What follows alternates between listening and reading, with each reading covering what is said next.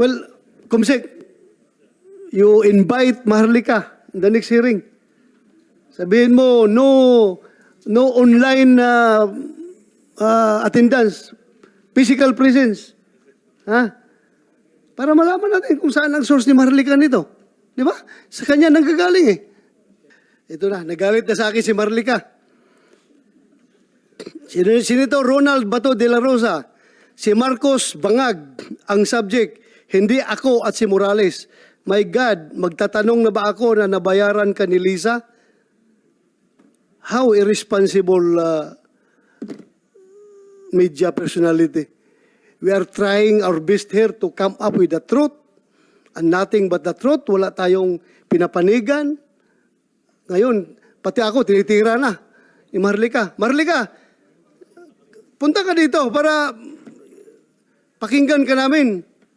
Hindi yung ah, gagamitin mo yung power of the media para siraan ako. Very responsible naman yan.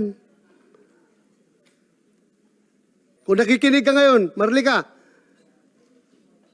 sino lang ang senador nandito ngayon nag-hearing? Why? You ask yourself. Kung sinong senador lang ang gustong malaman ang katotohanan.